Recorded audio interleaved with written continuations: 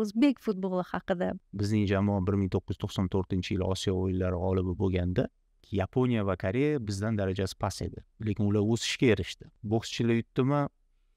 Boks ommaviylashib ketadi. Ravshan ermatov jahon chempionatiga chiqqanda hakamlikka qattiq o'rgatadi. Endi futbol jamoaviy o'yinda davr mahsulotiman deysiz. Chunki ijodkor sifatida nol holatda kelganmanda birlashgan arab amirliklarida bitta klubiga sarflanadigan mablag' bizning butun o'n to'rtta klubimiz byudjetidan ham ko'p barselonami realmi yo'q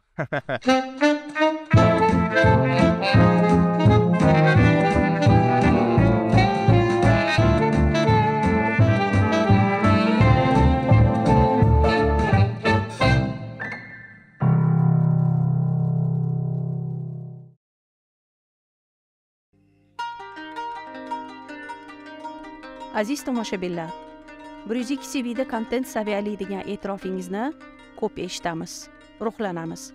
Siz uchun manzur saviyali kontentni tayyorlashda davom etishimiz uchun bir yuz ikki tv videolariga layk tugmasini bosing.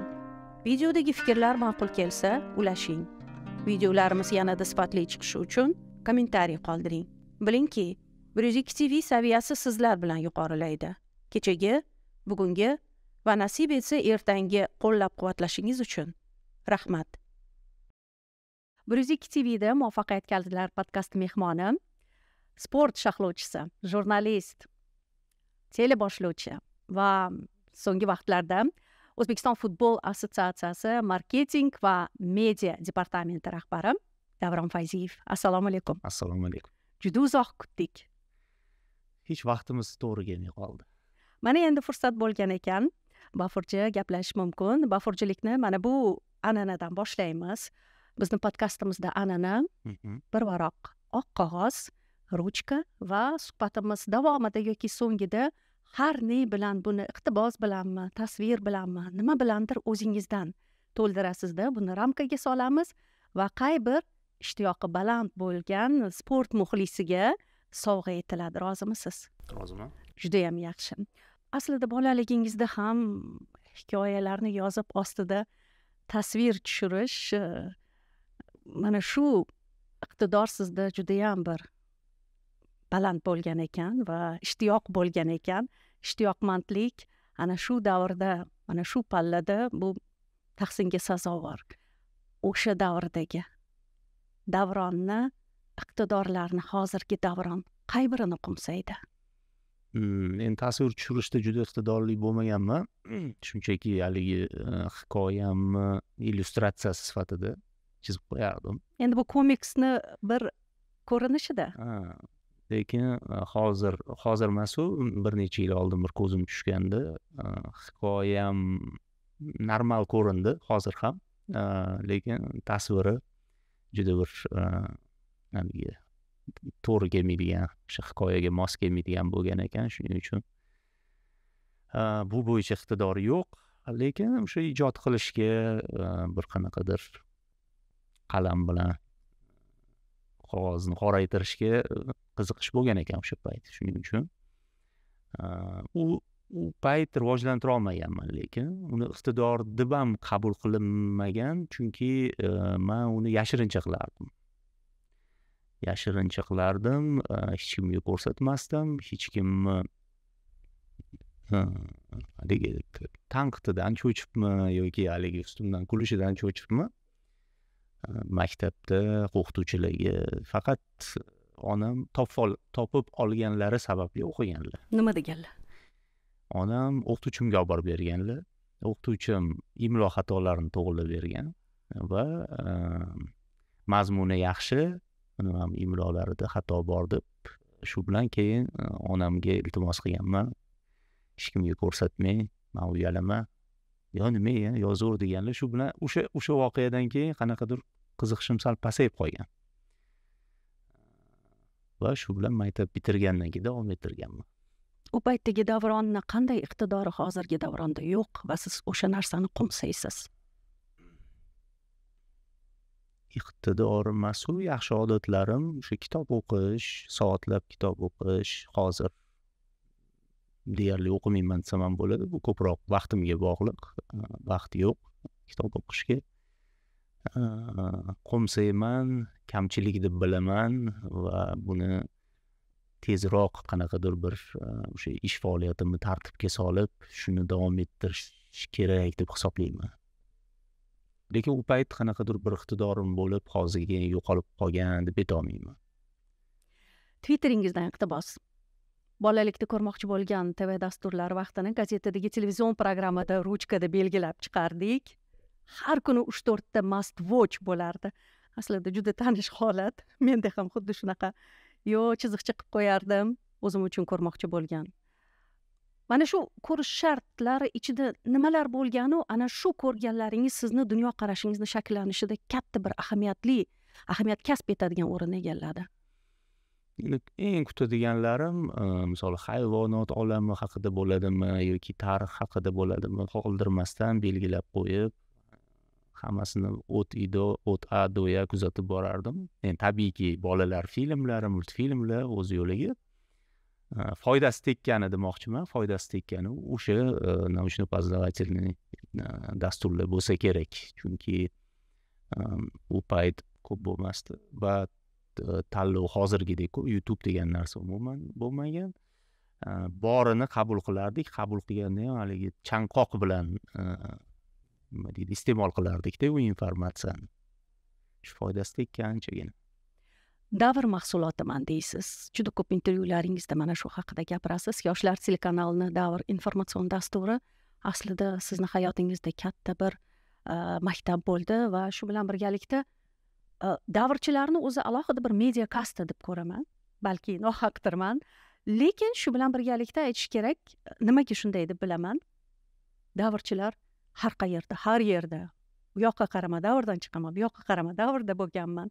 Va mana shu e, davrni aslida o'ziga xos bo'lgan muvaffaqiyati bor edi. Davrni muvaffaqiyat kaliti nima deydi? Endi birinchi savolingiz birinchi qismiga keladigan bo'lsak nega mahsulotiman deyman. Chunki man haligi ijodkor sifatida nol holatda kelganmanda e, oliy ma'lumotli ham bo'lmaganman diplomim ham bo'lmagan. E, shunchaki bir o'qishga kirish va ishga kirish orzusidagi o'smir bo'lib kelganman hattoki talaba bo'lmagansiz talabalikka endi topshirgan paytim borganman shuning uchun shunaqa deyman buni tan olaman. Davr muvaffaqiyat kaliti man o'ylaymanki bitta paytga bitta davrda bitta jamoaga juda ko'p talantli va atrofdagilarga e'tiborli inson sifatida ham ham ijodkor ham inson sifatida kuchli shaxslar yig'ilib qolgan.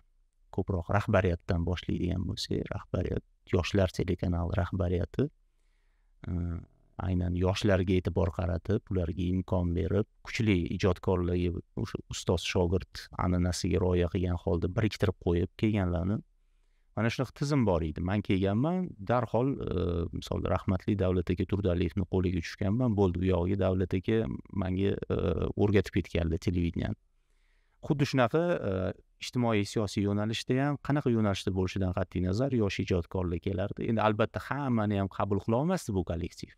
Sal ko'rib kuzatib qanchalik iqtidori bor harakati bor o'zini tutishi kollektivni o'sha insoniy jihatlarga ham qaralardi.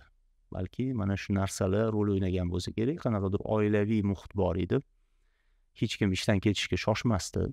Biz e, endi futbol bo'lgani uchun ham kechgacha kechasigacha qolardik. E, bu yerda faqat ish jarayoni emas deylik. Ozgina ishdan chalg'ib boshqa temalar boshqa mavzularda kino bo'ladimi san'at bo'ladimi hamma narsani muhokama qilardik.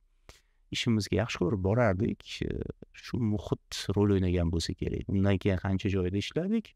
Hamma joyda ham yaxshi muhitda ishladiku. Aynan oiladek e, ishlagan joyimiz o'sha davr bo'lgan. Ijodkor uchun mana shunday oilaga o'xshash jamoa juda yam muhim ekan. Siz qo'msash bilan juda yam ko'p davr haqida gapirasiz. Go'yoki davr siz uchun oltin davr bo'lgandek e, shu bilan birgalikda mana shu davrchilarni o'zi chamamda hozirgi paytda yig'ilmaydi tarqoq alohida alohida uch to'rtta guruh bo'lib yig'iladi. Deylik sportchilar yig'iladi sportchilar biz ajralib ketganimiz ham yo'q. Misol uchun xayrli aka eldor aka ular bilan ko'rishib doim. Hozir ham birga ishlaymiz hattoki. Man o'ylayman juda ko'p mana shu yo'nalishi bo'yicha deylik xorijiy yo'nalishdagilar ham yig'ilib tursa kerak. Va ora orada mm, shunaqa bo'lgan uch to'rt yilda bir umumiy yig'ilishga harakatli bo'lgan buni avvallari komil allamjonov amalga oshirgan yig'gan hammani maksimal darajada lekin hozir kamaydi hozir deyarli yo'q. Endi boya e, ko'proq nimasi e, bilan bu jamoa o'sha hammani esda qolgan dedingiz man ko'proq haligi muhit haqida gapirdim lekin shu bilan birga professionallarni ham aytib o'tish kerakda alohida kuchli jurnalistlar ishlagan hozir ham deylik xatda ishlashidan qat'iy nazar o'zini o'rniga ega jurnalistika sohasida. Shuni ham qo'shib qo'shib o'tishim kerak. Bejiz davrchilar va davr haqida gapirmadim. Deylik davrchilar sizni hozir kuzatayotgan bo'lsa ularga hozirgi kunda aytar so'zingiz bormi? Bor albatta rahmat deyman hammasi uchun. Chunki ko'p qanaqadir shu sohadan ko'p narsa o'rgangan bo'lsam juda katta qismi mana shu jamoaning e, xizmati deyishim chunki u yerda manga e, davlat aka deylik sport jurnalistikasidan ustoz bo'lgan lekin televideniyadan butun jamoa ustozlik qilgan. Shunga minnatdorman doim. Har intervyuda har gal eslab o'taman. Va ayni o'sha yerda novatorlik nimaligini his qilgansiz? Ilk bora sport sharhlovchilikda e, o'zingiz bilmagan holda novatorlardan bo'lgansiz. Ya'ni o'sha e, shijoat bilan bir qisqa balonda xorijiy so'zlarni Э, o'zbek sport э, sharhlovchiligiga olib kirishga harakat qilgansiz. Sizdan avval ham harakatlar bo'lgan lekin sizda judayam bir shiddat bo'lgan buni novatorlik deyiladi. Lekin novatorlar birinchi bo'lgani bilan ta'na dashnommi tanqidni ham birinchilardan eshitadi. O'sha paytda eng ko'p eshitgan tanqidlar nimaga tegishli bo'lgan sizni o'zingizga qaratilgan? Hmm, endi boshida o'sha deylik xorijiy terminlar shu narsalarni olib kirganimda qabul qilish qiyin bo'lardi. U payt televideniyada o'ta bir kuchli haligi e, talablar bo'lardi. Mm. Endi u talablar kim tomonidan qachon o'rnatilgani noma'lum e, va ular qanchalik muhimligi bu hozirgi zamonga mosligini ham hech kim bilmasdi lekin shu talablar bo'lardi. Chegaradan chiqmaslik qanaqadir iloji bo'lsa hamma narsani o'zbek e to'g'ri o'zbek tilidan maksimal foydalanishimiz kerak lekin butun dunyo ishlatadigan xalqaro terminlar bor iboralar bor ularni biz hamma ishlat inglizlar ham arablar ham argentinaliklar ham ishlatib tursada o'zbekistonliklar qanaqadir bir ramkaga tushib e, o'zini o'zi qolipga solib chetga chiqmasdan faqat bitta relsdan ketishi noto'g'ri deb o'ylardimda shunga endi manda sal omadim bor ekan rahbariyat ko'p joyda tushunib ketardi. Lekin chetdan kelayotgan o'sha tanqidiy fikrlar bosim natijasida mani ham deylik bir oyga bir haftaga chetlatilgan holatlar bo'lgan sal yengillik olib kirganim uchun. Lekin ko'p emas tushunishim bo'yicha tomoshabinlar emas balki hamkasblar tomonidan e'tirozlar bo'lgan. Unaqasi ham bo'lgan. O'sha payt qaysidir gazetalarda tanqidiy maqolalar chiqqan shunaqa holatlar ham bo'lgan. Lekin muxlislar muxlislar tomonidan ham o'zi juda ko'p eng tanqid qilinadigan yo'nalishku futbol sharhlovchiligi aynan. Endi ko'zga ko'ringandan keyin shuda. Futbolda deyarli har bitta muxlis oddiy muxlis emas mutaxassisdek yondashuv yondashuvda kuzatadida o'yinlarni. Shu shunaqa shu nuqtai nazardan hammani ko'ngliga yo'l topish hammani futbol haqidagi tushunchasini bir qanaqadir ilg'ay olish judayam qiyin bunga intilish ham kerak emas. Maksimal o'ziga informatsiya bazani yig'ib turib shundan kelib chiqib turib ijod qilish to'g'ri bo'ladi. Lekin hamma ham siz kabi oltin o'rtalik o'sha diplomatiyani saqlab qolish tarafdori emas. Sport sharhlovchilari bor shiddat bilan qay bir yo'nalishni mm, olg'a suradi. Boshqa bir deylik jamoa bo'ladi va hokazo va hokazo bu haqida juda yam ko'p gapirilgan. Hamon sizda hech kimni xafa qilmaslik e, siyosati bor bu tabiatingizga xos chog' balki shunaqadir lekin ustozlar ham o'rgatishgan san e, ikkala tomonni inobatga olishing kerak. Mayli bitta tarafda deylik e, o'n millionta muxlis bo'lsin bitta tarafda o'n mingta muxlis bo'lsin lekin o'sha o'n mingtani ham hisobga olishing kerak. Darrov kuchli taraf bo'lib olib yoki o'zingda simpatiya bo'lgan tarafga yon bosish bu eng katta xato sharhlovchilikda deb o'rgatishgan. Shu narsa bir programma sifatida o'rnashib olgan va shundan chetga chiqmayman hech qachon. O'zimni ham keyinchalik mana как e, erkin ijodkor sifatida e, tushuncham baribir rivojlanib borgan yillar davomida. Qaysidir joyda deylik ustozlarim e, ko'rsatmasiz zamonga mos kelmagan joylari bo'lgan ularni o'zgartirganman. Lekin bu hamma davrga mos biz neytral bo'lishimiz shart. Fe'l atvoringizga xos yana bir kichkinagina chizgi detal. Novator bo'lsangizda garchi o'sha sharhda lekin o'sha novatorlik eng oldi texnologiyalar. Deylik o'sha ijtimoiy tarmoqlarga tegishli emas negadir. Ijtimoiy tarmoqlarda to'g'ri hozir telegram va instagramingiz uncha muncha faol. Lekin baribir sezilib turadi. Siz ijtimoiy tarmoq insoni emassiz. Garchi introvertsiz tabiatdan introvertlar uchun ijtimoiy kenglik bu judayam ajoyib bir maydon. Aksi emasmi introvertlar aynan ijtimoiy maydondan qochib o'zini o'sha anaqasida olamiga hech kimni yaqinlashtirgisi kelmaydiyu endi bir tomondan to'g'ri misol o'sha olam kichik olamning bir bo'lagi sifatida ijtimoiy tarmoqda o'zi xohlagan yo'nalishda yuritishi mumkin. Balki manda shunaqadir haligi ko'rsatmoqchi bo'lgan qismini ko'rsataman faqatgina hayotim. Hozir qiziqishim oshgan. Ayniqsa telegram tarmog'ida judayam faolman. Ancha sal bo'sh qoldim deguncha post yozaman haligi yangiliklar bilan o'rtoqlashib turaman. O'zimni qarashimdan kelib chiqib turib muhim deb hisoblagan instagramda u qadar faol emasman chunki u yerda foto kerak video kerak. Va sizga tushunarsiz auditoriya chamamda yo'q man o'zlashtirmoqchiman shu orada. Bir faollashdim yoqdi manga chunki u yerda ham qanaqadir messenjlar yetkazsa bo'ladi odamlar albatta. Ayniqsa hozirgi kun hozir televideniyadan uzoqlashgan odamlar ijtimoiy tarmoq orqali siz o'zingizni ijodiy jihatlaringizni ko'rsatishingiz mumkin. Endi buning uchun haligi administrativ ishlarni kamaytirish kerak. Hozircha buni iloji yo'q lekin rejada bor. Rus tilida bir ibora bor. Издержки профессии o'sha har to'qqizta bir ayb kasbkorda ham bir kamchilik bo'ladiyu.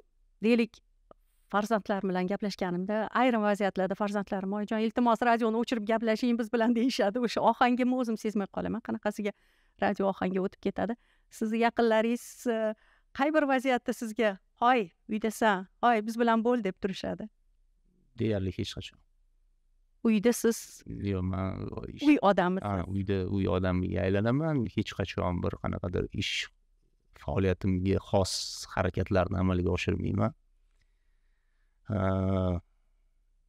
shu nuqtai nazardan haligi endi man juda ishonmaymanku bu narsalarga haligi burchi deydimi deydi egizakmanda egizakmiz ha ikkita inson yashaydi mani ichimda unchalik ishonmasam ham lekin ba'zi joylarda rostdan ham shunaqamikin deb qolaman chunki man ishxonada ko'chada boshqa insonman uyga kelgandan keyin boshqa insonga aylanaman shunaqamiz introvertlar lekin baribir ijtimoiy tarmoqlarda siz boshqacha bo'lishingiz kerak aslida o'ylab ko'ring. Shu eshikni ham ochib ko'rmoq ochib ko'rish kerak ochib ko'rish kerak. Chunki sizda bilim bor o'zingizni yo'qotib qo'ymaysiz chog'i. Endi vayn qilolmasam kerak shunga o'xshagan narsalar qilolmasam kerakku nimadir bir yengil olib kirsa bo'ladi sizni ijtimoiy tarmoqlarda kutadiganlar bisyor. Twitterda ham ma'lum bir muddat faol bo'ldingiz. Twitteringizdan iqtibos messi ronaldular payti o'tib ketdi. Yangi davr boshlandi deymizu g'irt o'sha davrdan bo'lgan benzema oltin to'p yutib turibdi. Kuchli avlod chiqdi bular. Jahon futboli o'sha futbolchilari murabbiylari hatto hakamlar haqida soatlab ko'p ko'p gapirishga tayyorsiz. O'zbek futboli haqida bu qadar ko'p ancha ko'p emas darajada iqtiboslar keltirasiz. Bu vaziyat aksiga o'zgararmikan?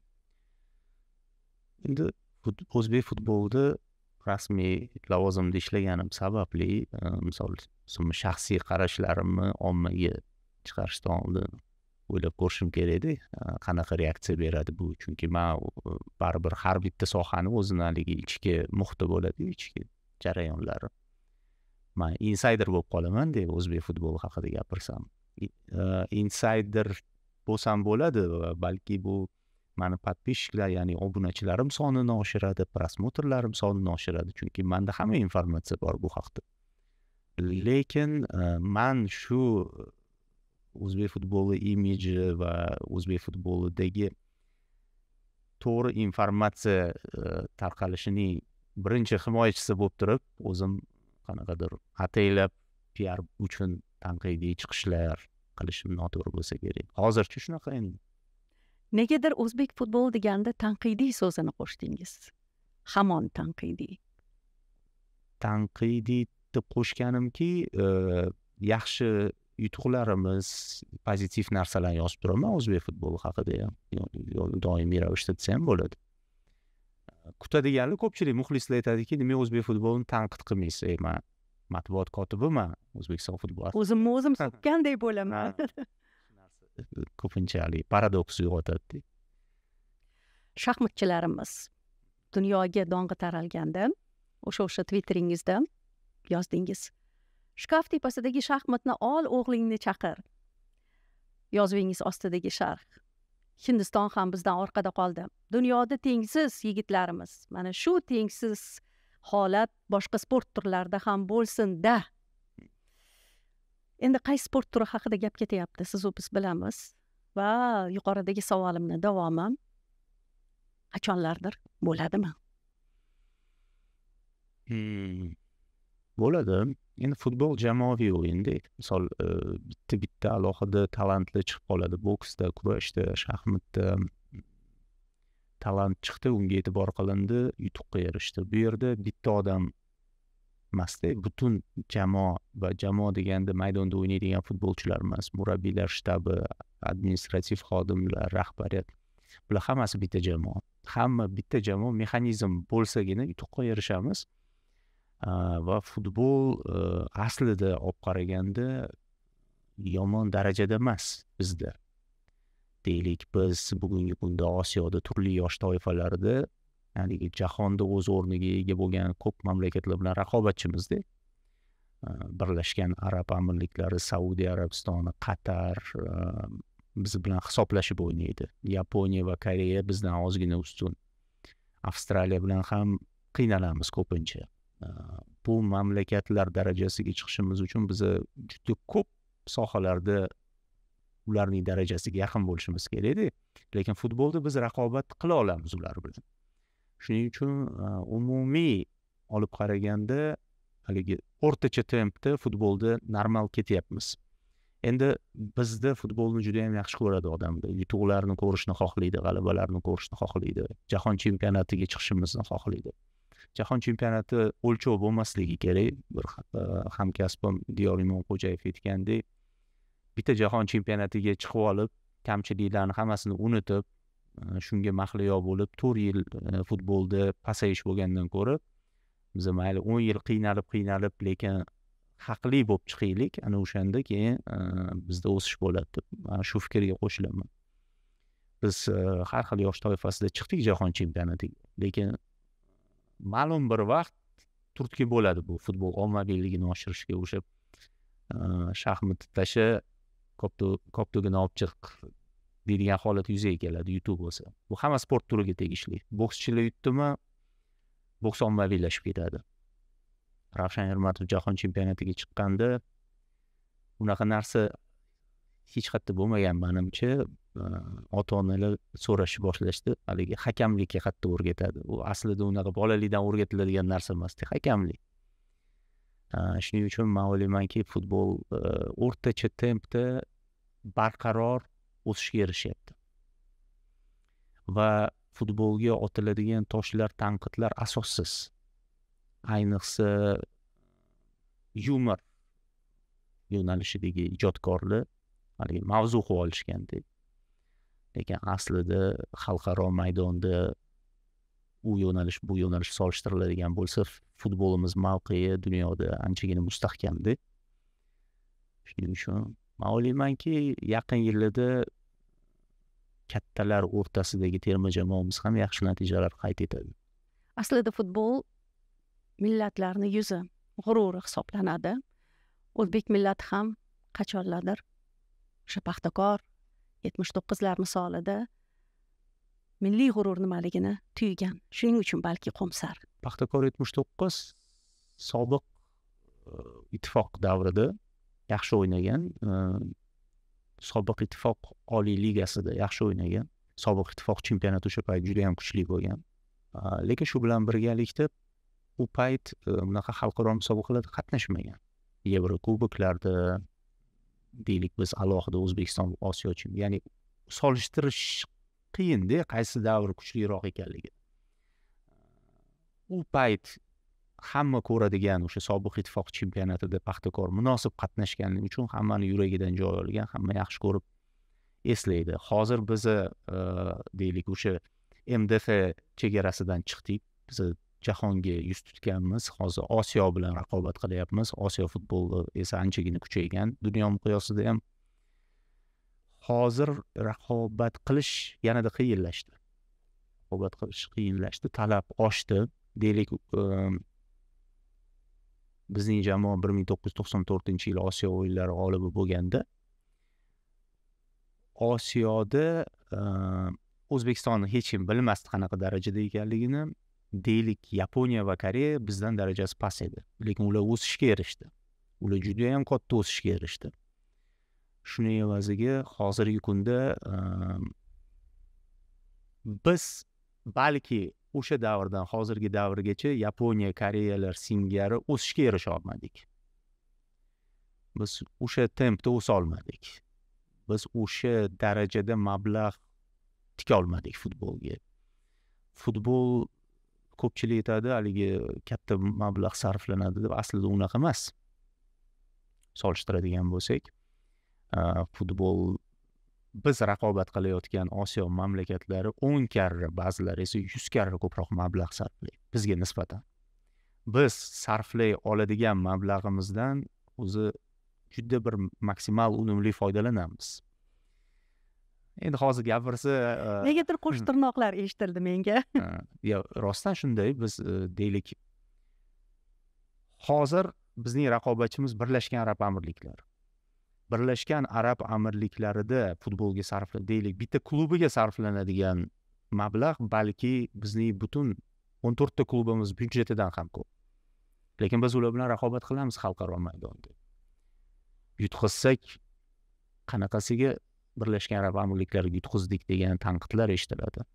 Lekin ular qanaqa rivojlantiryapti? Biz bor imkoniyatimizdan maksimal foydalanyapmiz. Shunaqa degan bo'lardim va hozir e, mana hozirgi rahbariyat terma jamoalarimizga istalgan terma jamoa bilan o'rtoqlik o'yini tashkil qilish istalgan mamlakatda yig'in o'tkazish birorta murabbiyni ishiga aralashmaslik birorta murabbiyni tarkib tanlashiga aralashmaslik prinsipini qattiq ushlayaptida bu ham natija beradi. Ya'ni ko'p yillar muammo bo'lib kelgan deylik futbolchilarni yoshini kichraytirish murabbiylarning faoliyatiga aralashuv yoki murabbiylar noxolis qarorlar qabul qilishi shunaqa narsalar deyarli qolmadi. Hozirgi rahbarimiz birinchi kelganlarida birinchi talab shu bo'lgan o'zi. Halollikni yo'lga qo'yaylik mayli natijalarga shoshmaymiz. Natijalar keyin keladi. Lekin natija mana kelishni boshladi. Nasib millat g'ururiga aylanishi mumkin bo'lgan o'zbek futbolidan millatni o'ziga o'tsak millat siz uchun nima?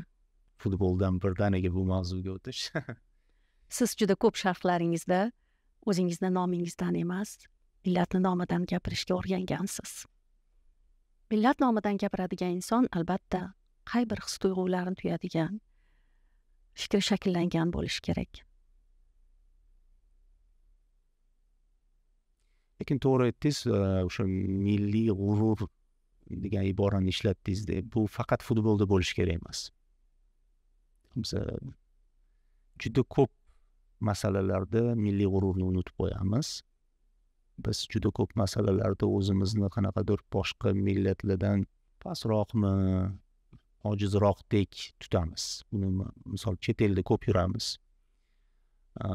Odamlar o'zini millati o'zini qonunlari o'zini prinsiplari o'zini urf odatlari o'zini dini mana shu narsalarni kim bo'lishidan qat'iy nazar qanaqa sharoit bo'lishidan qat'iy nazar birinchi o'ringa qo'yishadi va himoya qilishadi. Bizda negadir shu mehmondo'stlik yaxshi ma'lum bir darajada. Bu hamma yo'nalishda deylik siyosiydan tortib hamma sportgacha oladigan bo'lsak biz o'zimizni pozitsiyamizni har doim yeta olishimiz kerak. O'zimizni manfaatimizni doim himoya qila olishimiz kerak. Boshqa xalqlarni va millatlarni hurmat qilgan holda baribir biz har doim prioritetni o'sha o'zbek e, degan nomni ustun qo'yishimiz kerak. Va man bu masalada harakat qilaman. O'zim o'zim tomondan hech bo'lmasa haligi kichkina bo'lsa ham o'zim hissamni qo'shishga o'zbekistonda bir neni o'zgartirish imkoni bo'lsa va bu sizni qo'lingizda bo'lsa bu nima bo'lardi va qay tarzda o'zgartirgan bo'lardingiz? Garchi qay bir yo'nalish sizni qo'lingizda? Sportdan tashqari demoqchimisiz? Balki sportdan tashqari bo'lar tanlovingiz. Hmm. endi hozirgi kunda haligi moddiy manfaat hamma narsadan ustun kunlarga keldik endi butun dunyoda shunaqa bo'lsa kerak faqat o'zbekistonda emas mani shu narsa qiynaydi mani shu narsa o'ylantiradi kelajak ma'nosida farzandlarim kelajagi ma'nosida bir judayam qadriyatlar yo'qolib boryapti. Insoniy munosabatlar yo'qolib boryapti. Balki shu narsalarga ko'proq urg'u bergan bo'lardim agar mani qo'limda bo'lganda. Qadriyatlarni tiklash an'analarga urg'u berish munosabat o'zaro munosabatlar. munosabatlarni mustahkamlash mustahkamlash. qay tarzda endi buni formulasini hali ishlab chiqqanim yo'q o'zim uchun lekin shu e, xayolan shu narsaga intilaman xohlayman. Sevimli sport sharhlovchilaringizdan vladimir maslachenko aslida nishonga uradigan qisqa jumlalar bilan juda yam mashhur bo'lgan sharhlovchi o'z paytida unga eksklyuziv degan ibora ham ishlatishgan eksklyuziv sharhlovchi degan. Sizcha mana shu e, insonni nimasini e, hurmat qilgansiz va uni garchi to'g'ridan to'g'ri e, ustoz shogird munosabatida bo'lmagan bo'lsangizda ustoz darajasiga olib chiqqansiz? U shunchaki sharhlovchi emas. U mutaxassis sharhlovchi mutaxassis serial sharhlovchi. U futbol o'ynagan professional darajada u futbolni ichidan biladi. U tahlil qila oladi. U biz ko'rmagan narsani maydonda ko'ra oladi. O'sha tomoni eng zo'r tomoni eng kuchli tomoni keyin ehm, futbol sharqi paytida u me'yorni zo'r ushlagan. Emotsiyada deylik yumorda tanqidda hammasini joy joyiga qo'yib ketgan. O'rni o'rniga qo'yib ketgan. Hech kimni g'ashiga tegmagan shu bilan birgalikda. Hamma o'ziga tegishlisini ola olgan uni sharhidan. Asarti bo'lganda haligi oddiy aytganda lekin o'sha mutaxassisligi man uchun prioritet. Va man undan oladigan narsam shuki har qanaqa inson ma'lumotlar yozib olib o'zi uchun kirib sharhlashi mumkindir lekin hamma ham futbolni tahlil ko'zi bilan ko'ra olmaydi. Man shu tahlil ko'zi bilan qarashni undan ko'proq o'rganishga intilganman. Va sharhidan zavq olganimki u o'yinni bir anaqasini shakllantirib berar ssenariysini bir asar ko'rayotgandek bo'lardingizda shunchaki haligi vaziyatlarni bu urdi bu tepdi bu urolmadi degan ta'riflar bilan emas ssenariyga asoslangan asarga aylantirib berardi. Siz hamma emotsiyani his qilib turib oxirida finaldan bir zavq olib o'zingizga bir qanaqadir taassurotlar bilan chiqib ketardingiz uni reportajni ko'rish jarayonida qay bir ma'noda shoumen shouga aylantirmagan holda lekin shunaqa taassurotni berardi. Go'yo shou ko'rgandek bo'lardingiz lekin u sharh ichida shou qilishga intilmasdi. Ustoz haqida gapirib ustozingiz davlat turdaliyev haqida gapirmaslik mumkin emas universitetda endi bitirib televideniyaga kelganimda shu televideniya yo'laklarida kam gap kam suqum nim tabassum bilan har doim yuradigan davlat akani ko'p ko'rardim afsus faqat salom ali bilan chegaralangan muloqotim emas lekin bu inson haqida juda ko'p yaxshi gaplarni eshitganman sizdan hozir sharhlovchi professional jurnalist davlat turdaliyev emas oddiy inson davlat aka haqida fikrlaringizni eshitmoqchiman adolatli inson. Hammaga bir xil munosabat qiladigan inson. Intellektual juda ko'p o'qigan va uqqan dunyo ko'rgan dunyoqarashi keng. Hamma nima deydi hamma soha bo'yicha o'zini shaxsiy fikriga ega. Uni hamma joyda aytib yurishlari shart emas edi. Ikki og'iz hayotda bir fikr almashsangiz ma'lum bo'lardi. Lekin shu bilan birgalikda haligi yuragiga hamma narsani yaqin olardi. Bu yerda bilmayman tanlov bo'lishi kerak shekillida odam yoki juda ko'ngli ochiq hammaga zo'r munosabatda bo'ladigan yaxshi inson bo'lish yoki yopilib o'zini qanaqadir himoyalab atrof ta'siridan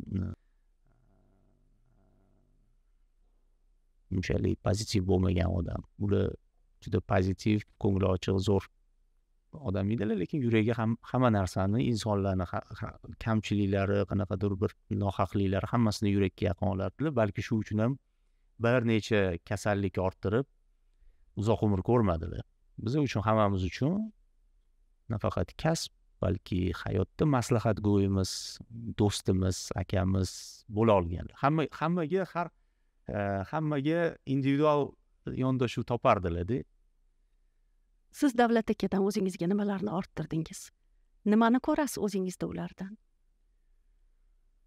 Kasbga nisbatan o'sha yondashuvim balki o'sha professionallikka intilish kasbga xiyonat qilmaslik manga ko'p boshqa yo'nalishlarda ishlar taklif qilishadi balki sinab ham ko'raman o'zimni lekin man uchun shu sport jurnalistikasi har doim birinchi o'rinda bo'lgan e, va hech qachon chetga surib qo'ymaganman haligi.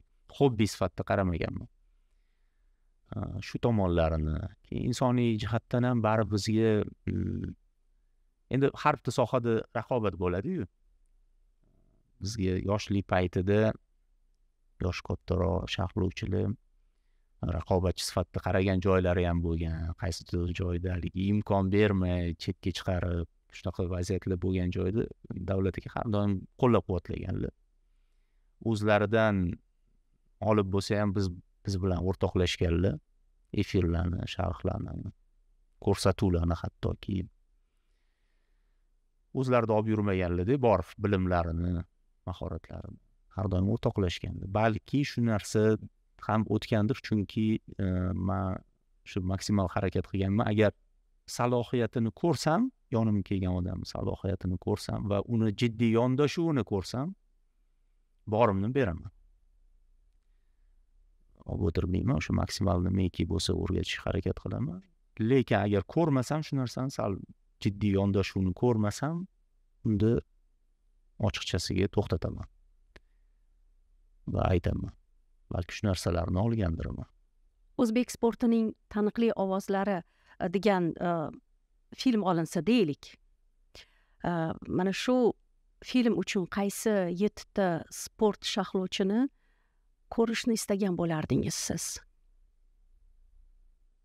Ahbor imomxo'jayev davlat to'daliyev mirzahakim to'xtamirzayev xayrulla hamidov ko'pda tanlash qiyin.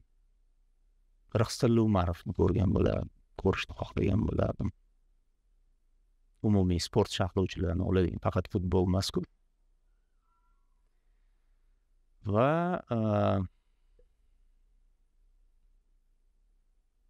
hozir kimnidir aytmasam ham noto'g'ri bo'ladida o'zingizni qo'shmaganingiz ustozingiz kabi kamtarlikdan dalolatmi o'zingiz bilan demadizu yettita dedim endi o'zimni aytish nokamtarlik bo'ladi yuqorida tilga olganlaringiz orasida hayotni tark etganlar ham bor oxiratlari obod bo'lsin. O'lim siz uchun nima? Endi o'lim haqida hammamiz o'ylaymiz o'limni eslaymiz har doim doimiy ravishda desak ham bo'ladi. Lekin bu haqda gapirish unchalik to'g'ri emas deb o'ylayman. Chunki bu nima deydi biz uchun yopiq mavzu hech kim bilmaydi u qanday holatda qanday kelishini. Haligi e, g'oyib mavzusiga yaqinda baribir. Man uchun ogohlantirish ogohlantirish doimiy ravishda eslab turish vaqtni g'animat bilish shu. An'anaviy e, savollar bor va mm, loyihamizda an'anaviy savol javoblardan sizdan avval intervyuga kelgan qahramon undan keyingi kim ekanligini bilmagan holda qahramonga savol tashlab ketadi. Ya'ni sizga savol tashlab ketilgan sizdan avval muvaffaqiyat kalitlari podkastini avvalgi sonida azon uz axborot portali asoschisi va mezana ilm markazi ta'sischisi mubashir ahmad siz uchun savol tashlab ketdilar. Meni dardi g'amim ilm bo'lgani uchun ilm haqida savol bo'ladi jamiyatni isloh qiziqtiradi doim. Jamiyatni islohi uchun nimani tavsiya qilgan bo'lardilar va o'zlarining ilmga munosabatlariyu ilmdagi holatlarni oshkor qilsalar? Mani kamchiligim o'sha boya ham aytdim o'sha oddiy qilib aytgan ilm olish kitobdan boshlansa kitob o'qishni vaqtincha tark etishga majbur bo'lganman vaqt nuqtai nazaridan. Birinchi navbatda o'qish izlanish man uh, o'sha oson yo'liga o'tdim desa ham bo'ladi internet yo'liga. Lekin uh, baribir kitobning o'rni boshqa ekanda haligi uh, dunyoqarashingizga ta'siri internetniki kam. Siz internetga nisbatan bizda avtomatik filtr ishlar ekan. Man shu narsani ko'p sezganman. Ko'p narsani ilm sifatida qabul qilmaysiz oddiy informatsiya o'qidi ketdi bo'ldi yengillik sifatida qabul qilasiz e, u sizga ba'zi shakllantirmas ekan. Internetdan olgan hattoki o'sha wikipediyada ma'lumot o'qisangiz ham u sizga kamdan kam holatda baza sifatida saqlanib qoladi. Ba'zi aynan kitob orqali shakllanadi. E, shu hozirgi yoshlarda yoshlarni endi hozir juda ko'p dasturlar ishlab chiqilyapti ularni o'qishga kitobga bo'lgan mehrini oshirish uchun hattoki o'sha mashinalar sovg'a qilinyapti. Bu hammasi zo'r tashabbus. Bu masalada sal zamonaviy yo'nalishlardan ham foydalanish kerak qanaqadir. Integratsiya hozirgi trendlar va kitob integratsiyasi. Hozir ko'ryapman eng taniqli shaxslar o'zini eng yoqtirgan kitoblarini o'ntaligini reytinglarini tuzib chiqishyapti. Hamma o'ziga tegishli o'sha maydonchadan foydalanib bu mavzuga befarq bo'lmagan holda e, yoshlarga ta'sir o'tkazishga intilishyapti va yoshlar juda uzoqlashib ketmagan kitobdan. Man shu narsani ko'p sezyapman. Onlayn e, kitob sotadigan do'konlar juda ko'p mijozlarga ega deb o'ylayman chunki ularning soni ortib boryapti. E, shu hozirgi munosabatim shu. Endi bilim berish e,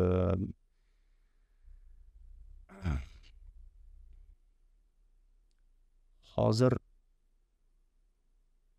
oliy ta'limda ham shu maktab ta'limi jarayonida ham sekin eski tizimdan voz kechadigan vaqt ham keldi. Haligi majburiy holatda bilim berilishi majburiy juda ko'p informatsiya o'zi shundoq ham hozir informatsiya juda ko'p hayotda plyus o'qish jarayonida haligi endi rivojlanib borayotgan o'smirlarni kerak kerak emas ba'zi fanlarga majburan o'qitish isloh qilish kerak deb o'ylayman ta'lim jarayonini. An'anani davom etamiz. Endi keyingi mehmonga kim ekanligini bilmagan holda siz savol tashlab ketishingiz mumkin keyingi mehmonga savol.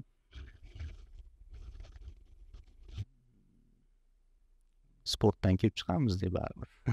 Mayli. Mayli savol shuki mana bizada ko'pincha e, endi bilmadim mandan keyingi odam futbolga qiziqadimi yo'qmi bizada ko'pincha solishtirishadi. Oldingi futbol boshqa edi deyishadi. Oldin futbolda individuallik ko'p edi deymizu lekin ronaldu bilan messini rekordlari aynan individuallikda bundoq o'ylab qaraydigan bo'lsak ular rekordlarni yangilab borishi oldingi shunaqa individual zo'r futbolchilarni hammasini rekordini bular yangilab bordi.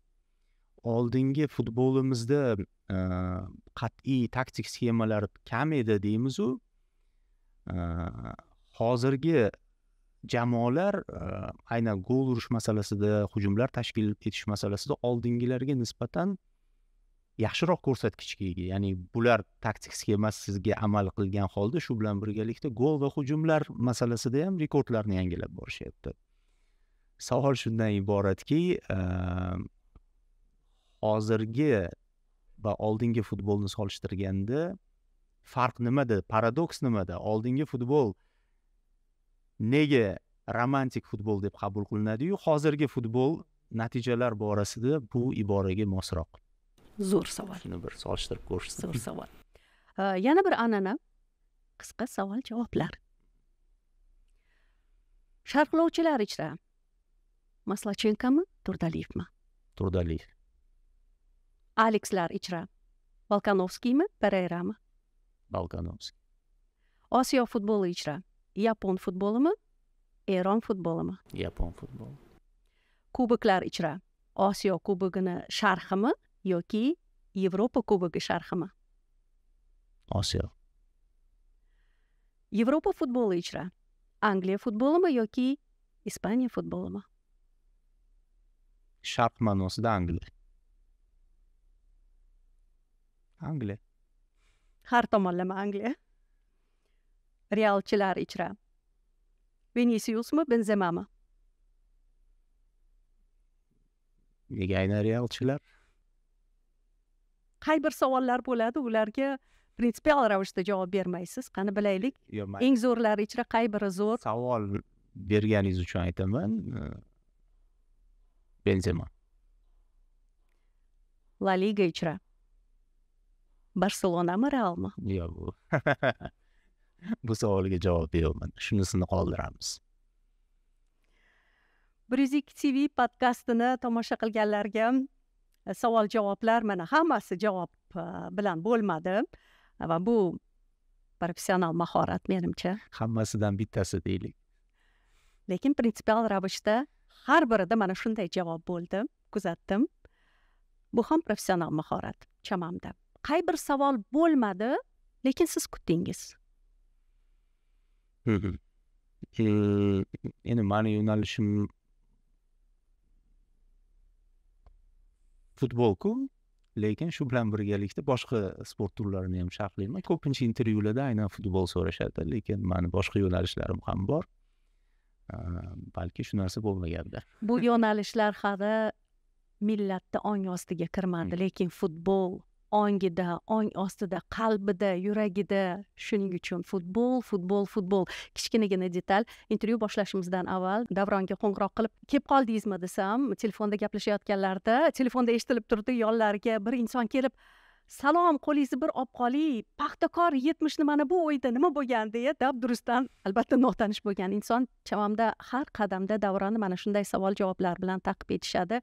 Futbol millat g'ururiga. Tezroq aylanishini judayam xohlagan bo'lardim. Garchi futboldan men yiroq inson bo'lsam siz qanchalik xohlashingizni tasavvur qilaman. Bu orzu emas bu biz shu soha ichida yurgan paytimizda shu narsa ro'y bersa balki biz ham faxrlanib yuramiz kelajakda.